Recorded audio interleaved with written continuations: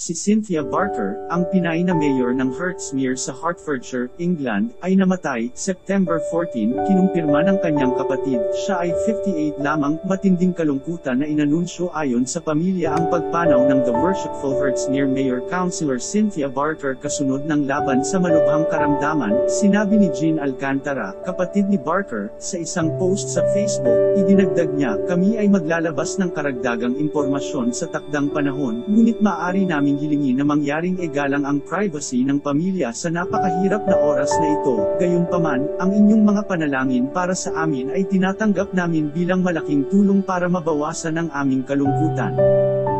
We're TV 2.0.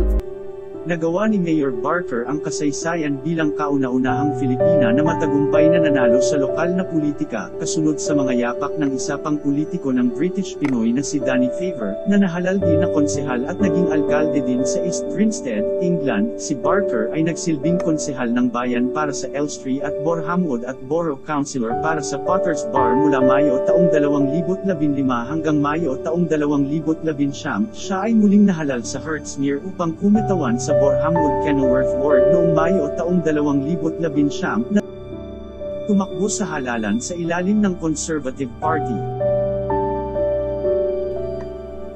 Ayon sa kanya nung nabubuhay pa siya sa palagay ko ang karera sa politika ay hindi planado, sinabi ng aking ina na huwag makisali sa politika trabaho lang umuwi ka, magtrabaho ka at ganoon ang ginawa namin, hindi ito ang plano, hindi ito ang hangarin ko, nauna niyang ibinigay ang sumusunod na payo sa mga manggagawang Pilipino sa ibang bansa, na nagmula sa kanyang nakaraan pagkatapos na siya ay naiwan sa Pilipinas sa edad na siyam habang ang kanyang ina ay nagtatrabaho sa UK, dagdag pa niya, sa mga parents muna ng mga OFW, ang maipapaalala ko lang is based on my experience, make sure na kapag nag-abroad kayo may family support ang mga naiiwang bata dahil kapag pumupunta sa ibang bansa akala mo nagsakripisyo ka pero sa totoo lang, ang mga bata ay nagdurusa din tulad ng marami.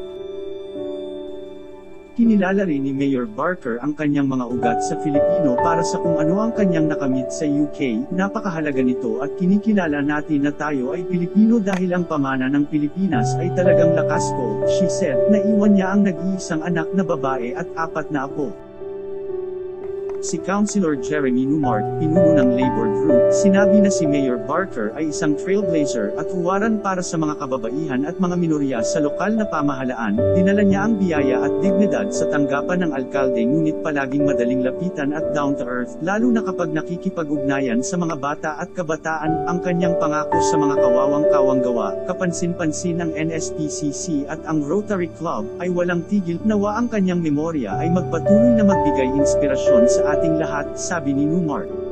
Disclaimer, some images and video clips that I used this vlog are not mine, for educational purposes only. Thank you.